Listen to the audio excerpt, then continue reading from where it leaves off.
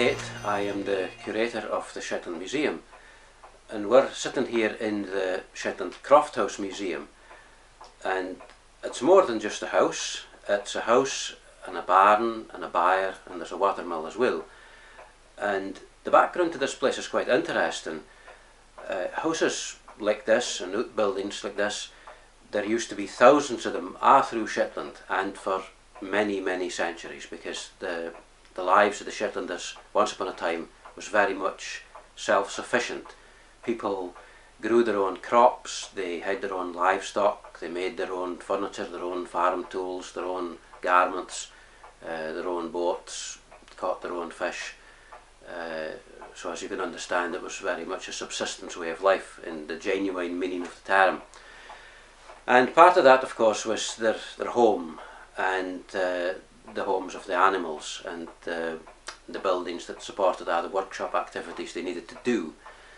The design of buildings elsewhere in Shetland have all or had all the main elements that this one does, which is a house and a barn and a byre all in a conjoint block. And that was done for a reason. It meant that in all weathers people could travel between the house and the outbuildings. It's easy for us today to forget that it wasn't simple to go outdoors with light in November in a gale. Now you switch on the electric torch and you're there, but in those days it's a candle lantern or it's a, a lamp uh, burning seal oil or fish oil and it's a very imperfect process trying to take light outdoors. So for that reason as well as also we're all used to having all weather survival suit type clothing. Not so in the 19th century and centuries before that. So it was far more sensible to have your outbuildings connected onto the house and you could go through to tend to the cattle because the cattle were kept indoors every night and they were in the byre for most of the day in winter. Uh, and also you're having to prepare meal uh, uh, prepare grain so that's all happening in the barn as well. So you're all in a few footsteps of the house. Um, but in the other parts of Shetland uh, such as the West Mainland but of course in other parts too it could be Central Mainland, North Isles, North Mainland other parts of Shetland too um, the layout of the oldest style houses was such that you went from outdoors into the byre, then into the house, then into the barn.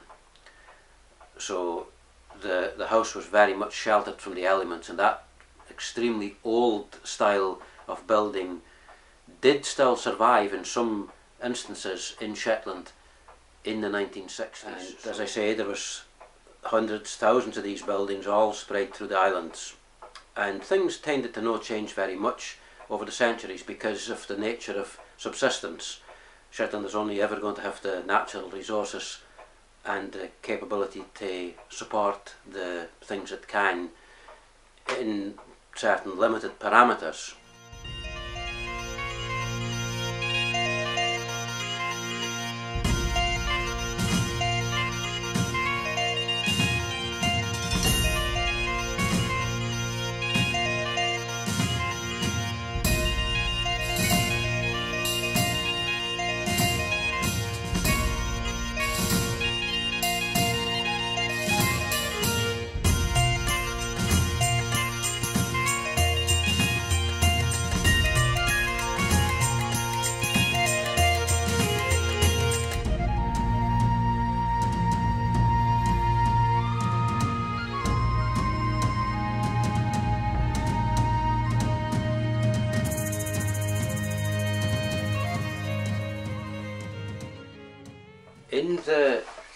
19th century, most of the things in a traditional Shetland house, certainly up to the earlier 19th century, were items that the islanders had made themselves and they used themselves, of course.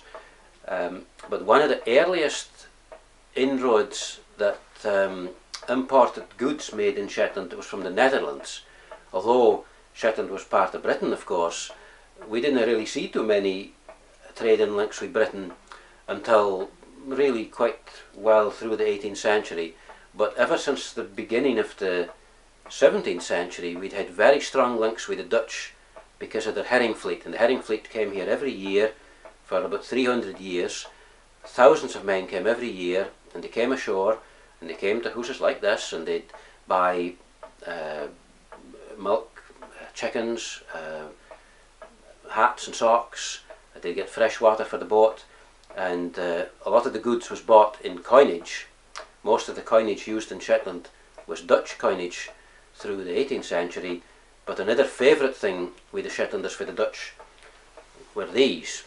Now, what they contained when they came was what the Dutch called Genever, and Genever was a type of gin, and uh, this contraband gin, or would be regarded as contraband today, of course, because it didn't pay any customs due.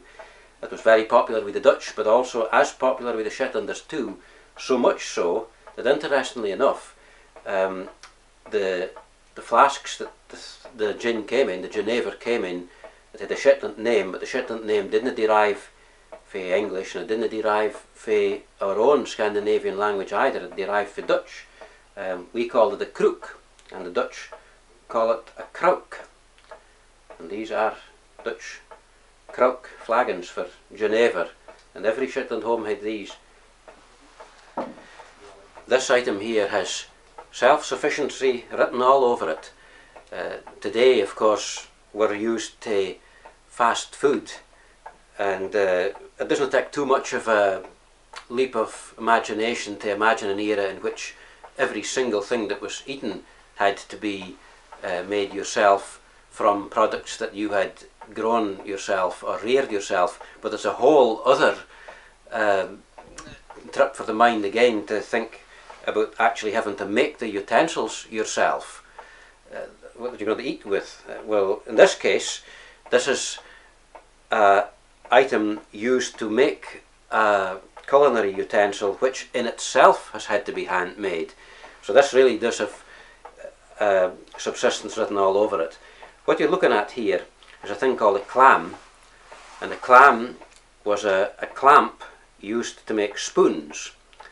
And you can see that this two-piece oak vice here, it's got a groove and a concave piece there, and another flat area there with a convex bit there. And the spoon itself was made for a piece of coo's horn. There is one. And uh, the horn was, was boiled to soften it and uh, cut open to flatten it out. And then when it was still soft and it was cut to the shape and it was placed into this clam here and then that was closed. This one isn't for this particular clam, it doesn't close totally. And um, an iron ring was hammered on the end there and when the thing cooled it would retain its shape and it would retain its shape permanently unless it was dropped into boiling water and then it could lose its shape again. But if providing you still had the original clam you'd be able to get it to drive together back into shape again. And you can see this particular one has been adapted to fit a different spoon because that's a piece of leather in there that they've changed the shape of the bowl so that's a, a handmade thing to make a handmade thing in order for you to eat your eat your uh, your Ready Brek or your uh, your rice krispies. this item here I'm holding on to is called a skull.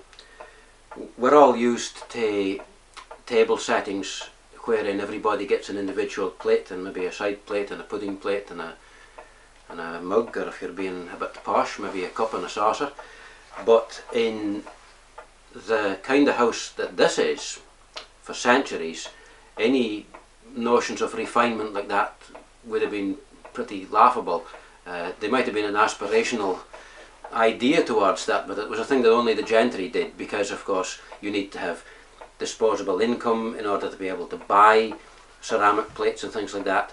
So, what people had done for many centuries and still was clinging on in the early, even the middle of the 19th century, was eaten out of a thing like this. Now the way it was operated was that um, the food was served up communally. Uh, generally speaking, what would happen is that the the, the fish, if it was fish they were having, would be in the middle of the skull. The tatties were arranged around the side. And hooses long ago in Shetland, they didn't have a table because a table was a generally a, a bit of a, a, waste of space, and literally waste of space because it was taking up a lot of room. Just be a flat surface on it, and the space in your old-fashioned Shetland house was generally taken up by uh, chests, chairs, beds, um, presses, so things to store things in, things to sit on, uh, and things to store things in that you could sit on. So what they did for a table, generally speaking, when it was food time, was that um, they'd pull uh, all the chairs around for however many people was needing to eat, men, women, bairns, old and young, uh, and then an item of furniture could be a chest or it could be a chair, set down like that, uh, with a skull on top, and the fish and tatties were all arranged about everybody positioning themselves around about the skull, and the cutlery, there's the cutlery, your fingers, and people just took it like that. And uh, the washing up must have been the easiest task in the world. One dish and soak your own fingers clean and that's it. And uh, the name itself in Shetland skull means, um, I suppose, like a, like a big oblong box. So the word could also be used for, say for example, um, a different type of wooden box that was used for uh, shooting fishing lines out of. Same word. The English word for this thing would be a trencher. Now this item here, you've maybe not seen one before, I'll show you what it does and you'll maybe figure out the purpose. You can see this a thing like a goalpost here and there's a wooden base and a lid on it.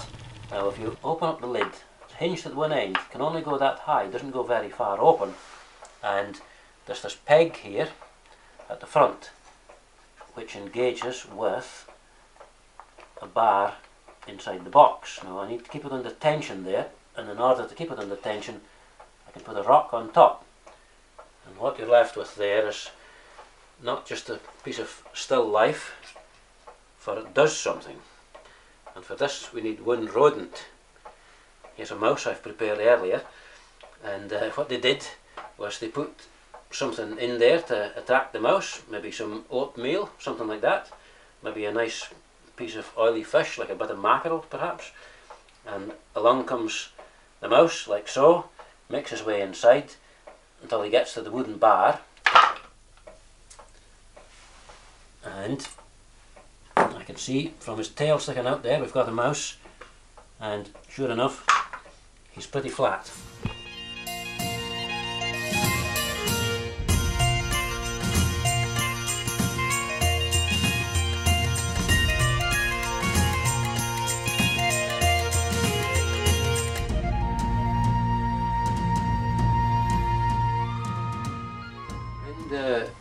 Bain end of the house. There's only two rooms in this house and uh, in that way it's fairly typical of a lot of the older Shetland houses.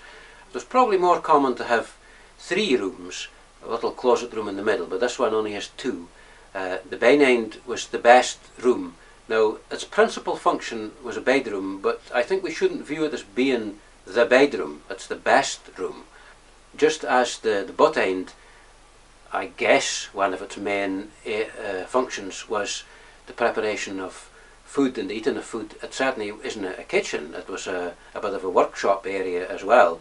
And so, by the same token, the ben end here was a place where you might take, say, your more important visitors, say if the Laird's factor was come to collect the rent, or if um, the minister was coming by, or um, anybody really that you were wanting to treat in a bit more of a fancier uh, setting, then they would come into the to the ben end, and this is where your slightly um, finer things might be found, maybe like ceramic ornaments and things like that. You might find some of them in here, um, and decorative things such as behind me here. You can see that there's a print of a ship uh, and that's because this is the best room. Uh, also, um, there's a storage aspect to this room as well. The, the beds, we'll talk about the beds in a moment, they're all of this box form.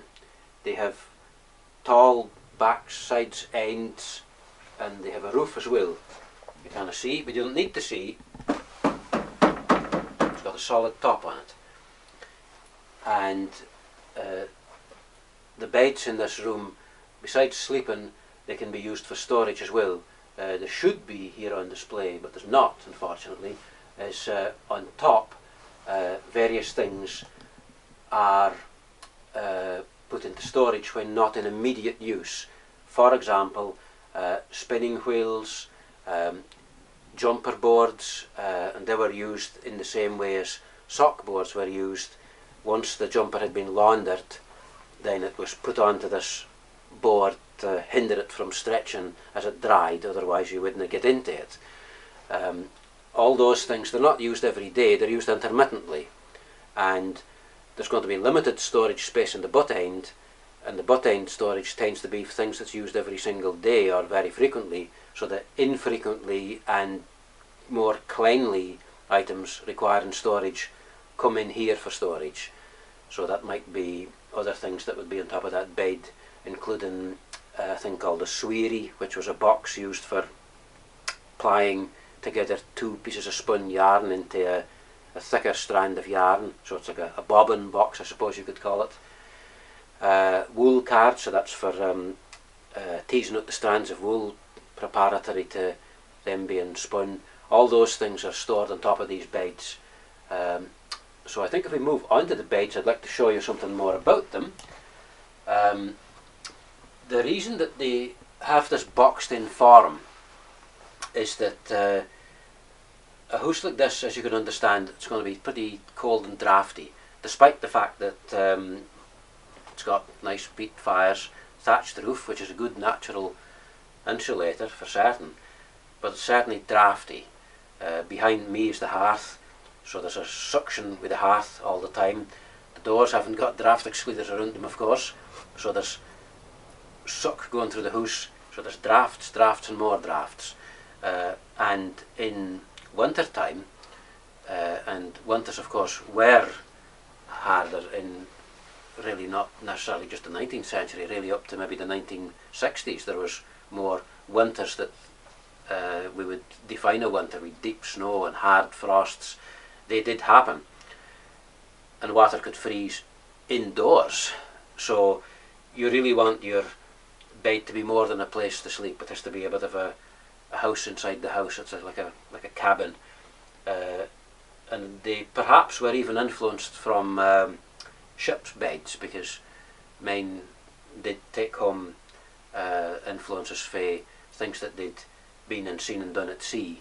Uh, in fact, um, some of the, the chests stored under the bed here uh, are sea chests Many chests were made for storage on land, but these characteristic ones with the, the tapering out base and the wide skirting, that's a classic sea chest design. That's something that somebody would take home when he's not at sea and um, store under the bed uh, if it's not actually one that permanently lives here. Um, so going back to the bed again, um, it's got this cabin form to stop um, drafts but it'll also stop any grime ending up amongst the bedding too because uh, not only is the hearth here busily churning out smoke and therefore dust all the time but you've also got above our heads here you've got the underside of the roof and you can see all that turf there that's just a haven for uh, either dust in the form of the the grass and uh, the soil it's made from um, dropping dust but also there's insects too uh, and uh, that's going to make a bit of a mess of the bedclothes so hence why it's all boxed in like this. Uh, and you can further reduce the the elements by drawing the door shut. I think it'd be quite nice to be in there. Now, small room though it might be, uh, this is probably about the size of a modern day bedroom in which you would expect one bed. Uh, you've got box bed here, you've got uh, just in front of me a second box bed and to my right here, your left, there's an open bed and there's a cradle and that doesn't mean to say we've got four people in here. We might have, say, the married couple of the house might be in this bed, but then you might have, say, three older children in that box bed, and you might have uh, one uh, uh, child in there, or maybe if they're small enough, maybe two children in there, head to foot, uh, an infant in there, and um, families, of course, were larger in the 19th century. So in this house, there's another box bed in the butt end, and that was extremely common. Uh, some houses had two box beds in the butt end, uh, and uh, families could have eight children, typically, but of course many had more. Some had ten, some even had twelve. But that's not to say that all would be in the house at one time, because of course by the time that child number eight or child number ten arrived, child number one and two, they might then be old enough that they then left home uh, either to to take up married life themselves or maybe to take up work themselves. So uh, you might be a, a live-in servant in a house if you're a, a, a lass, or you might be uh, a merchant seaman if you're a boy.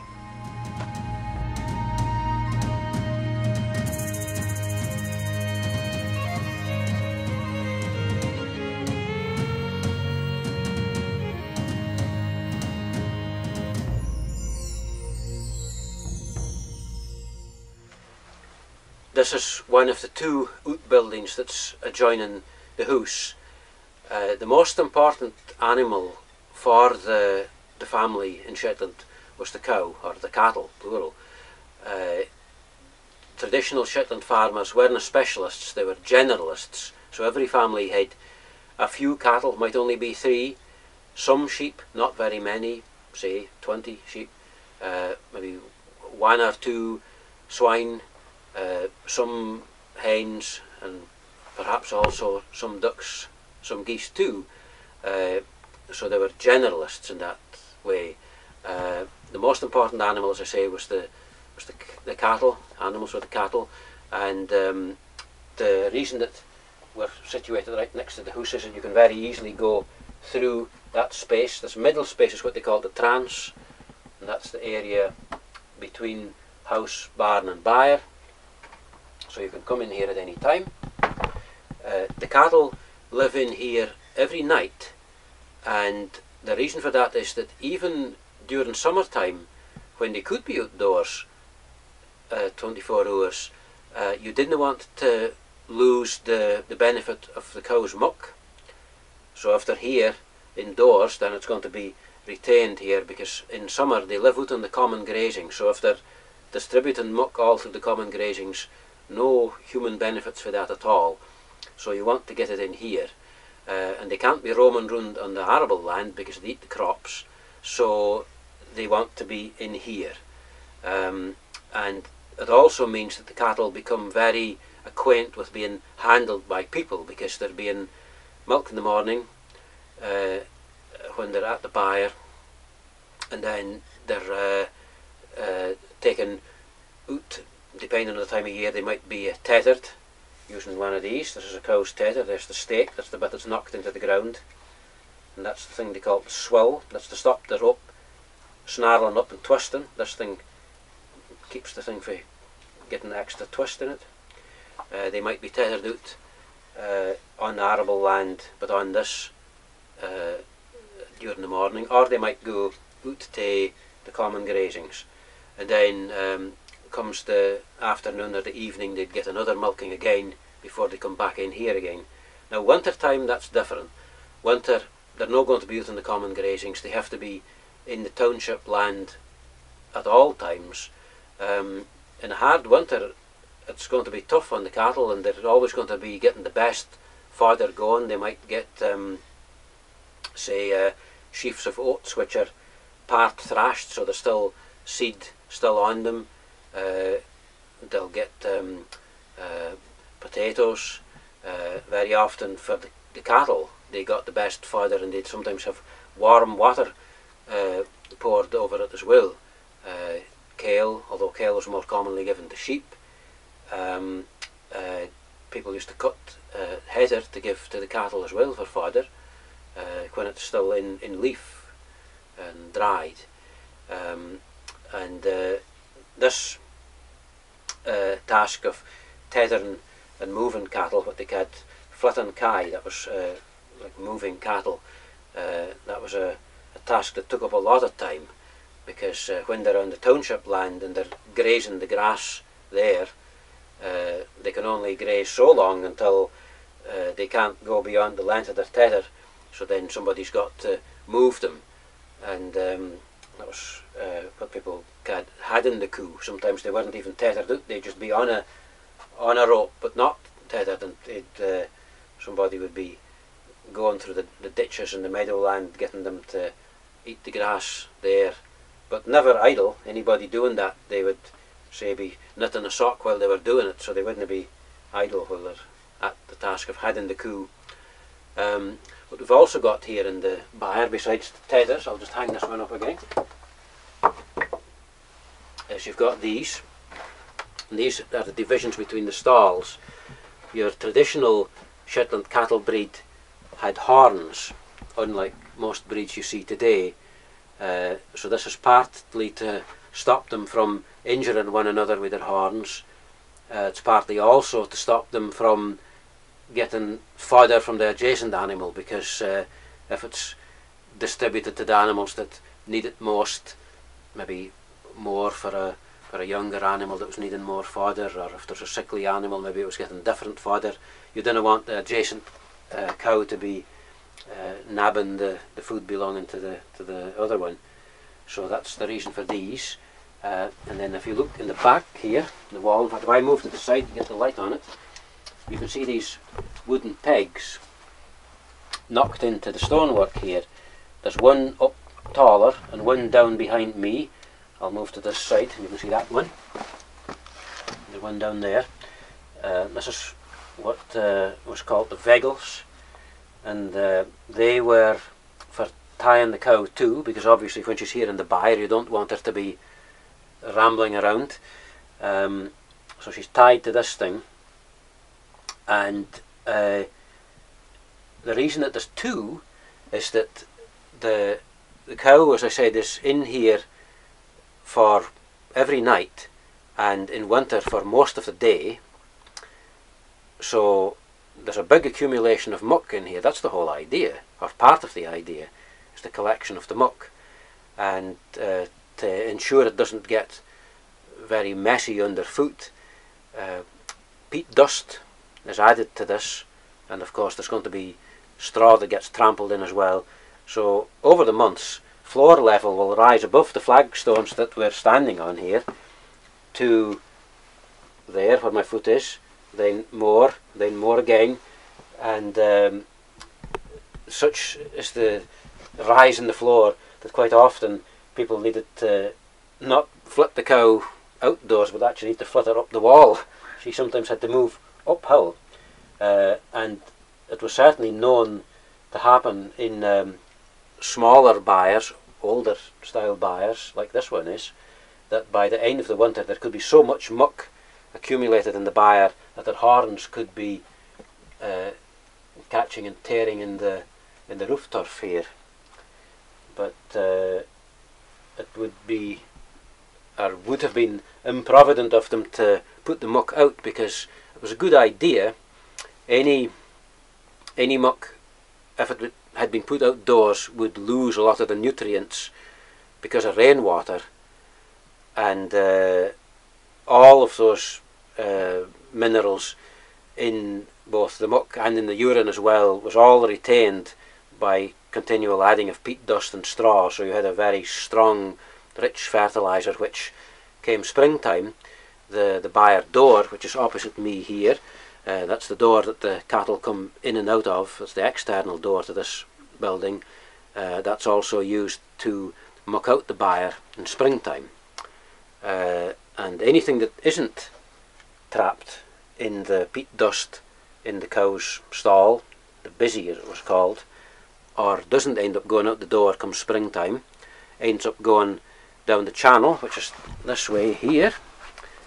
That was called uh, a runnock, and the runnock was um, a byre drain, and you can see it's stepped down from the main floor of the byre here and gets progressively deeper the further out you go. And that's really for any liquid manure that doesn't get caught in the in the process here, it can run out there. So um, that's the, the purpose of that. Uh, an inevitable thing that all children ask, and I think it's probably just as well to put it put it on our film here because uh, bairns love it. It's the inevitable question: Where did they go to the toilet? I don't know. Maybe it just appeals to every child. Where did they go to the toilet? Well, this is where they went to the toilet, because uh, not only um, uh, cattle but humans too. All you did was just you know put your back to the to the wall here and squat down and drop there. And uh, there's plenty straw for toilet paper. So that's what they did. So all bairns watching. You can try this at home if you've got a byre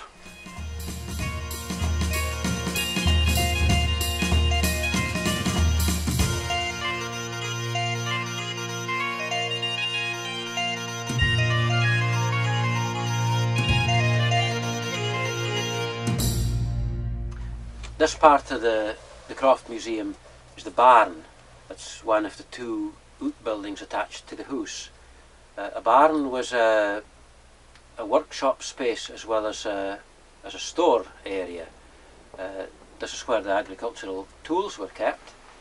In the, the middle of the 19th century or the third quarter of the 19th century, the tools were fairly basic. Um, there wasn't a, really very many that were uh, factory made, they were locally made. There wasn't even all that many that were um, for draft animals in some places. A lot of the cultivation in the 19th century was done just by by spade power alone, and uh, not every family had a plough. So uh, a lot of the things kept in here were fairly small. So hence, as a store area for a farm, to us it doesn't seem very big, but it answered to the needs of the Shetlanders.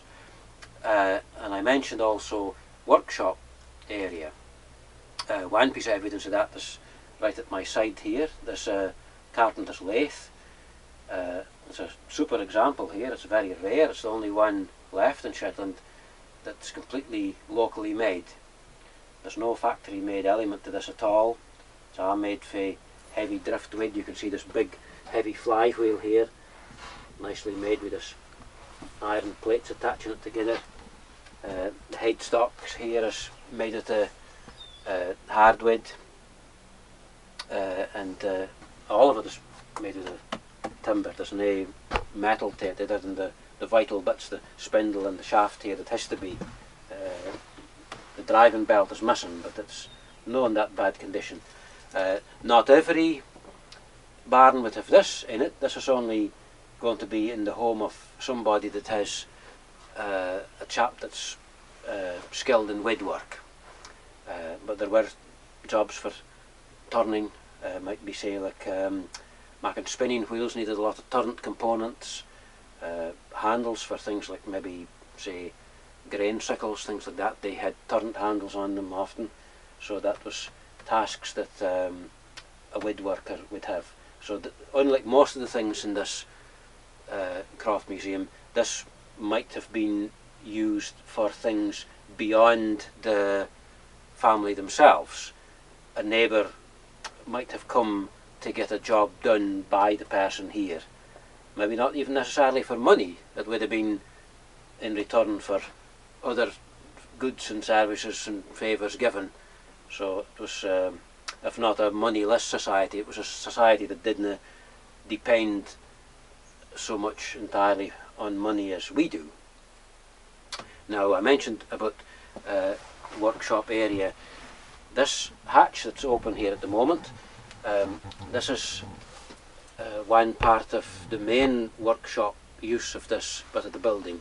What happened was that uh, in the, the winter time, once the harvest had happened and the, the crops were uh, stacked here in the yard, then um, they needed to be taken in here to be thrashed.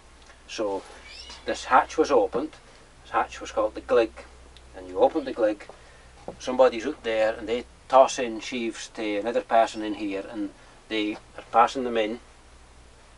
And once they've got so many in here then they're ready to be thrashed. And that's where this item comes in. This is the flail. And the flail consists of uh, what was called the stong and the supple, it's the supply band. And this is used to break the, the seeds off the sheaf of grain. And usually it was a two-man job. And uh, people would stand opposite one another. And this wooden floor here was ideal for that because it was nice and flat. Uh, the outer part of the floor and the inner bit here is made of flagstones but this bit here in the middle is wooden and um, the grain is laid on the floor there, two sheaves going one way with the cut ends outermost, two there with the cut ends outermost, so you've got four sheaves with the seeds all overlapping in the middle. And uh, you might need to spread them out, so you get this bit and you pull them out that way and push them out that way. Same there, same there, so you've got them spread out as much as you can. Then you turn it around again and you, with this bit here, you give it a thump like that. And um, two are working so you have to be in total tandem here, and symbiosis, because uh, you might end up braining your opponent. So one is up like this while the other one is down, and then the other one is down when the other one is up. And uh, you're diagonally opposite one another. So I'm I'm standing here beating there, and he's standing there beating there. Um, so that's the, the way that the flail worked. And uh, once you've done that, and you've you've broken it all up, then you're left with straw and grain. And the straw, it could be used for anything, of course. Uh, could be used for basketry, making ropes, thatching. It might end up its life as a mattress. It might end up its life as as a horse's breakfast. But the grain, uh, it's important too, more important. Um, the first thing you've got to do is to sweep it all up and uh, put it in a, in a barrel or a bag and then as soon as you can you've got to winnow it because you've got a mixture of um, the, the, the chaff and the, the, the seeds and, the, and especially the chaff that's going to draw damp so you want to get rid of that as quick as you can. You can do it outdoors but you can do it indoors too if it's windy enough. Uh, if it's a really windy day, you could do it on this floor. You'd open the barn door there, and you'd open the outside door, and the glig is open, so you've got suction going right through, or draft going right through. And uh, one or two people would work here lifting up this combined mass of grain and chaff and just let it run to their fingers and the chaff will blow off to one side and the grain falls down in a pile. And you work your way through the the, the barrel full or the bag full like that until you've got rid of all that chaff and you've got nice grain just grain. And um, at that point you can put it into storage in a barrel but again you don't want that to draw damp it's going to be less likely to draw damp when it's been winnowed which is the name of that process, but it's still going to draw damp. Um, so you really want to get cracking on and get it dried next. So for that process we go to the other end of the barn. At the other end of the barn here is this structure here that from outdoors looks something like a broch, like an Iron Age castle. Um, and this is a grain kiln because although you've removed the chaff for the grain, you still kind of grind it without drying it because it'll clog up millstones, it'll clog up quern stones, and you need to to get that moisture out of it so it's nice and dry. And this is where that process is done.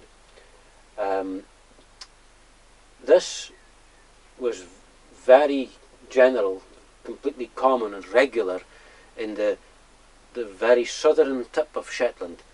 But as Shetland goes as a whole, this was very atypical.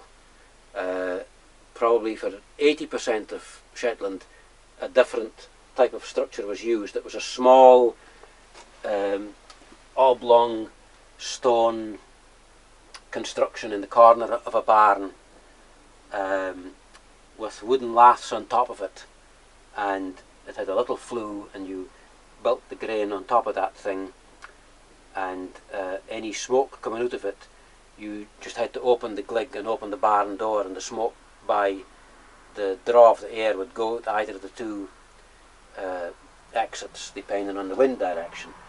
But here in Dunrossness, where the agricultural land was or is better and higher grain yields meant that uh, this circular and bigger type of grain kiln had developed long ago in the Middle Ages, so it is a very venerable lineage um, and uh, this is the type of kiln that was used.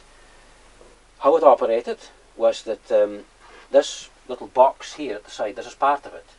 Um, this is the, the gable of the, the barn. The kiln is a round structure on the outside uh, and there's two um, apertures in it. One is the big bit here that we can see and one is through this little box in here. There's a maybe a sort of a one foot by two or a two and a half foot by two uh, hole at the bottom of this wall right down at the foot and it goes in through the thickness of the gable. A peat fire was placed in this bit and the big broad lintel was to stop it flaring up because uh, it could it could burn the house down or burn the barn down um, and also you didn't want a fierce fire for a kiln. You wanted a, a prolonged, steady fire. Uh, so the idea was to to get your fire going and to keep it going, but not ablaze. And having the fire far away from the kiln meant you're not going to endanger setting fire to the kiln or these wooden laths that lie on top of the kiln. And uh, by keeping that going, you can have the fire uh, drawn in, or heat drawn in I should say, not the fire, drawn in through under the laths, what were called the rammocks, and uh, the the heat rises up through the rammocks, and then there's a layer of straw, and then the grain is piled on top, and as the the hours go on, and it took a long time, it might take you all day, the the heat comes through the straw, through the, the grain, which begins by steaming, that's the moisture coming off it, and then later it starts to harden up and dry properly. And uh, from time to time, this is another one of the many advantages of having the house attached to the outbuildings. You don't have to be in here all day long. You can be in the house doing something else but you can't abandon your post so you have to come through now and again attend to the fire and also now and again take some seeds from here bite them and uh, when you've discerned that they're hard enough you can stop drying and you can rake it out there's a wooden rake that was used to haul it out and it's ready for grinding uh, and to increase the suction also um, a straw winnowing mat can be hung over the face here to increase the, the suction if there's not enough um, draft. No problem today though, I can feel the wind blowing through it. Now, talking about grinding, we can move to the other end here. When grain was ready to be made into meal, then this is one of the two apparatus that was used. If you were going to prepare a small amount for immediate use, this was your tool. This is the quern. Now, it operates by having a lower stone and an upper one, and the handle here, of course, and uh, the dried grain, you work it in your hand like that, just keeping a steady flow, and you feed it into the eye of the stone here, and you're rotating it like that, and uh, you, depending on whether you're requiring a finer flour or a rougher meal, you can adjust it. So this peg here can rotate. Now, you can maybe see, maybe not, that there's a wooden bar under the quern here, and right underneath it there's a wooden peg. Now by twisting this wooden peg here, you're ultimately going to, there we go, Yep, there we go. You're raising or lowering uh, another wooden peg underneath. So rotate this, shorten string, raises bar that goes in and out, raises peg or lowers peg that ultimately balances this top stone. And all that complicated sounding rigmarole is actually quite simple and it means that you can make the stone rotation easily done or very difficult to do. And that of course determines how rough your grain is going to be. And this is uh, this is what they call the, the oversteen this is what they call the luder. All the parts here of course had local names. Now this was used if you didn't have very much grain to process but ideally you're going to do it in winter time when streams are flowing. There's maybe even say snow being thawing so there's lots of water in the burns. And that's when water mills operate. And there you're going to process a lot all at one time. And you don't need to use this. Uh, and in that case you're going to have more meal to, to store to put away in the butt end and the gurnel now there's a different way that grain could be processed too, and that involves this thing. This is called uh, a Knockenstein. The older pronunciation was Knockenstein, and the uh, Knockenstein was, I suppose you could define it as a pot quern. It wasn't for um, converting grain seeds into flour, it's for dehusking them, dehusking the grains of barley so that you could boil the barley whole. So say for example if you're making broth, maybe with, um, I don't know, say um, a sheep's head and some kale, uh, that's a typical one, and you might want some whole barley for making that broth with. How it was used was uh, typically somebody would sit on a stool like that, one of these little stools that in Shetland was called a creepy. And somebody sat on the creepy. And it's a thing that usually involved two people. One sits opposite me and uh, that person over there they have a, a basket of barley and they put some barley in the stone here and they also have a kettle of boiling water yet another reason of how it's so handy having the house adjacent to all the outbuildings. You don't have to go very far to get a kettle of boiling water. And somebody puts uh, barley into the stone here and the person puts some hot water on it and then I then go like this and I start knocking the barley using this device. This is what's called a mell. So you beat the barley with the mill and as time goes on after a few minutes maybe a couple of minutes the other person will maybe indicate to stop beating this thing so you lift out the mill like that and the person over there will uh, feel the seeds see if uh, they're uh, beginning to part company with the husks or not. Uh, if it's getting too messy and the seeds are coming out the side of the stone, that means that uh, she or he needs to add more water to it to get the the mass of seeds to coagulate together again as they should be because otherwise they fly all over the place and that process continues until the person there can see that uh, the separating process has happened.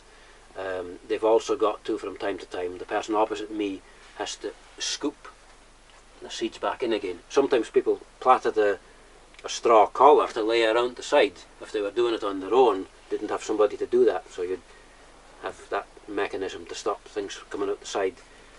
But at any rate, once the thing is um, done its dehusking, then the the damp mass is put onto a, a sheepskin tray, a thing called a wecht, and a wecht was um, uh, like a, I suppose, like a, looks like a drum skin, I suppose, like a drum skin on a, on a wooden frame, and this was spread out flat, typically put on top of the of the one of the beds in the house, one of these box beds where it's going to get lots of warm air and once it's nice and dry then somebody can take it and take it outdoors and shake it to blow off all that husks off it and uh, goes through a sieve as well to sieve out any bits of grit because there's going to be picking up sandstone grit from the stone as well. You don't want that in your soup. So that's how the Knockenstein and the mell was used to prepare what they called knocket corn.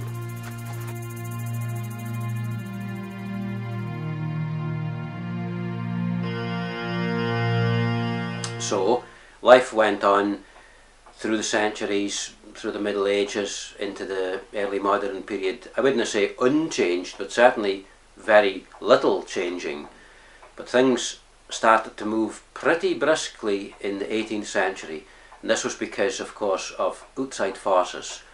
Um, a commercial fishery was being built up in Shetland, and most districts of Shetland, maybe even the majority families in Shetland, were involved in this fisheries to some extent or other and as the economy started to become more vigorous so also imported ideas as well as imported goods made their way into the Shetland home. So you had uh, to begin with very basic things such as glass because Shetlanders couldn't make their own glass of course. So you had things like glass windows. You can't imagine an era when houses didn't have glass windows, but that happened for the common people uh, as recently as the 18th century. Um, there might be things like, say, uh, imported ceramics. People used to use wooden bowls and even wooden communal eating uh, trenchers, a big oblong trencher they ate from, uh, instead of ceramic uh, uh, tableware. And all that came in in the 18th century. And as time went on through the 19th century, as imports increased and uh, ideas, imported ideas became more prevalent, people's expectations changed. They gradually wanted to emulate the way of life of their uh, peers elsewhere in Britain. So people were aware of, in the way that people always want to um, better the lives of themselves and their families, they wanted to perhaps get a, a clock for the mantelpiece or to get um, a cast iron teapot or indeed for that matter to be able to buy tea full stop. Uh, all these things are imported ideas or goods and this had a gradual effect in the same way as a, as a glacier can wear down a mountain range if you give it enough time. So too did the character of the traditional Shetland home begin to change in the 19th century. Uh, so as the decades rolled on in the 19th century, there were more and more things that uh, you could almost say ate away at the indigenous character of the Shetland home and it started to develop in a, in a different way.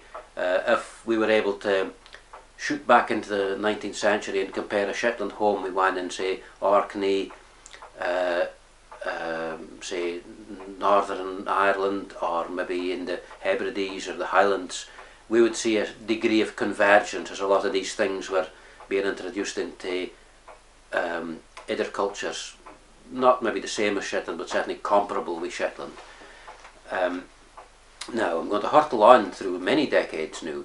Uh, by the 20th century, the process of change was speeding up all the time, and a lot of the elements of what we would now consider as being classic characteristics of the traditional Shetland home were beginning to disappear. Uh, we were starting to get houses with uh, upstairs in them, a two-level house, houses with porches on them, houses with tar roofs, not straw roofs, houses with wooden floors, houses with iron stoves, not open fires. All these things were beginning to change, and uh, the number of factory-made items in the home began to burgeon in every possible way. It could be steel um, baking trays, or it might be um, leather shoes which are factory made, or it might be ceramic ornaments, or paraffin lamps, or the paraffin that was in the lamp for that matter, uh, anything and everything, cutlery, uh, factory made garments, all sorts of things. And um, it meant that when Shetlanders left the islands, as they did in the late 19th and early 20th centuries, if they were ever to have come back to Shetland again, it was inevitable that they would see a fair degree of change in their lifetime. Change speeds up, that's the nature of change. And um, in 1960 there was a visiting deputation of expatriate Shetlanders who came for a big uh, festival here called the Hamefarin. And the Hamefarin was for islanders who had either left themselves as emigrants or their parents or even their antecedents farther back had left. And they came back to Shetland again in 1960, having left maybe say in 1920. And the amount of change was far more palpable to them as the expatriate Shetlanders than for the islanders at home, because the islanders at home they'd continued to live where they were, improve their way of life, and um, we weren't perhaps so aware of the fact that things were falling off the conveyor belt of history in a way that these expatriates were uh, sensitive to it. So, what they did uh, a few years later, not many years later, uh, primarily the, the New Zealand contingent of expatriates, they began to uh, uh, agitate in a positive way. I think that word can be used pejoratively. Agitate in a positive way um, that uh, a traditional old style um, Shetland home and outbuildings be preserved for the future. Uh, and it was a home that they might have known in the Shetland that they left or that their parents had known about. And um, it seems quite incredible now that it took hold in a way that it did because in Shetland in the 1980s the economy was awash with money because of the fact that there had been an oil era and there was lots of money in the economy and lots of things were happening but this was the uh, the late 1960s by the time that this um, campaign had gathered traction long before the oil era. They didn't know there was going to be an oil era. And the the, the Shetland County Council was not exactly awash with money but they were receptive. They they wanted to preserve something of Shetland's past. I think maybe something that's maybe different to the Shetland of the 1960s than nowadays is that there had been, I suppose, a fairly cohesive Shetland society up to that point and people kind of more or less all came from a common background, uh, a common rural background and people in the society as a whole felt that it was their, in inverted commas, history in a way that you couldn't maybe say today there's a more of a, a disparate, uh, heterogeneous nature to the society new.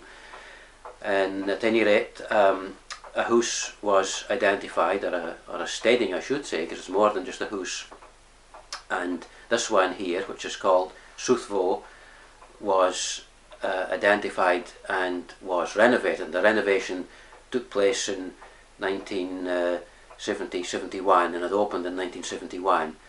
Um, the house itself and the buildings had been built about maybe 1830s, but in the the renovation as you see it today, it would be more correct to say it resembles a house of perhaps maybe about 1870, and uh, that was the I suppose the, the guiding vision because the nature of nostalgia is that um, nostalgia is the way of life that more or less my grandparents would have known.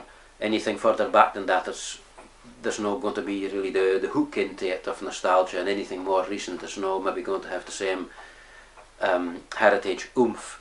Now, it's interesting now, of course, that 50 years has moved on since, 60 years has moved on since those hamefarers were here, and um, no living person new can say that their grandparents lived in a house like this. So that's been a, an unintended benefit in the renovation is that it's set in a time warp very effectively something that's now impossibly far back in time. Now, hindsight's a great thing, uh, and I'm now going to employ some hindsight. Um, it's clear to us now that uh, the initiative to save a house and outhouses was a it's clear to us now that the initiative to save a house and outhouses was a fantastic idea, it was a great idea. If it hadn't been done then in the in the late 1960s to open in 1971, it would probably never have been done, and it could now not be done because there are no buildings like this left in Shetland anymore.